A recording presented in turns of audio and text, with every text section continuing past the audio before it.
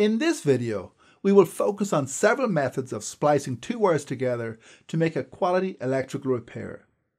Many intermittent drivability and erratic electrical issues are often traced back to a poorly performed electrical splice.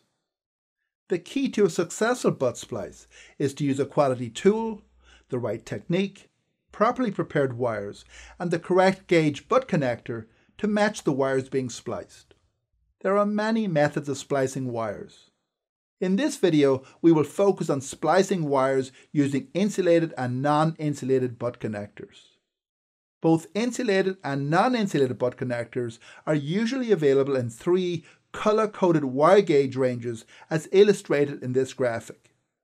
Insulated connectors are available in non-heat shrink vinyl and nylon versions and also heat shrink style versions as illustrated in this graphic. Crimp with heat shrink style connectors offer a good combination of electrical and mechanical connector integrity, sealing against moisture and fluids, and ease of use. There are also insulated and non-insulated step-down connectors for joining two different gauge wires. For example, when replacing a failure-prone OE blower motor resistor pigtail with a heavy-duty, high-temperature pigtail that uses heavier gauge wire than the original. Here are a few general tips that apply to most wiring splices. If you are going to use heat shrink tubing, which is necessary on non-insulated connectors, but recommended on any type of connection, be sure to slip it over the wire before making the connection. You want to use the smallest size tubing that will slip over the wire and then back over the final splice at the end. Select the smallest gauge connector that will fit snugly over the wires. If you are not satisfied with the match between the gauge of the wire and the connector, consider stripping a longer section of the insulation and then fold the strip section over to get a fuller fit in the butt connector. In this example, we are splicing a new heavy-duty high-temperature blower motor resistor pigtail to the vehicle harness on a Chevy van.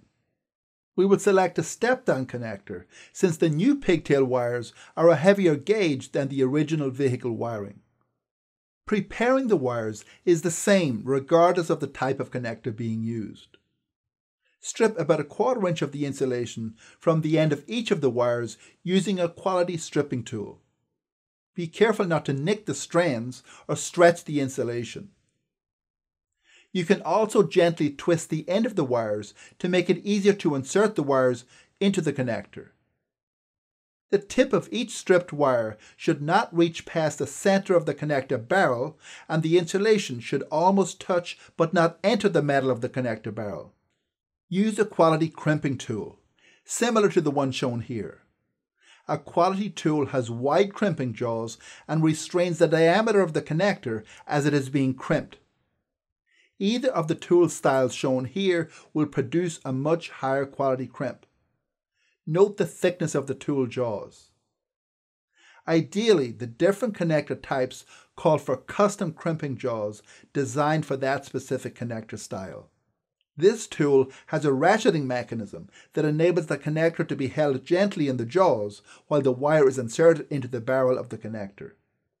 An inexpensive crimping tool, like the one shown here, simply squishes and flattens the connector, resulting in a loose crimp with excessive resistance that will separate easily. Squeeze the handles firmly, all the way until the ratchet releases. Check that the connection is secure. Use a heat gun with a reflector tip rather than a torch to shrink the tubing. This method distributes the heat more evenly and avoids damaging the connector insulation or adjacent components. When splicing multiple wires at the same location in a tight space, stagger the splice joints to lessen the bulk of the overall repair. Now let's make a splice using crimp with heat shrink insulated butt connectors. Preparing the wire is basically the same but use the custom crimping jaws for these types of terminals. Position the butt connectors in the appropriate slot in the tool jaws. The tool jaws should just cover half the barrel end being crimped. Insert the wire into the connector as we described previously. Squeeze the handles firmly and check that the crimp is secure. Now repeat for the wire on the other side of the connector. Heat shrink the connector until it forms a snug, weatherproof seal around the wire. And so, in conclusion, for a comeback free electrical repair, use a quality tool, the right technique, properly prepared wires, and the correct gauge butt connector.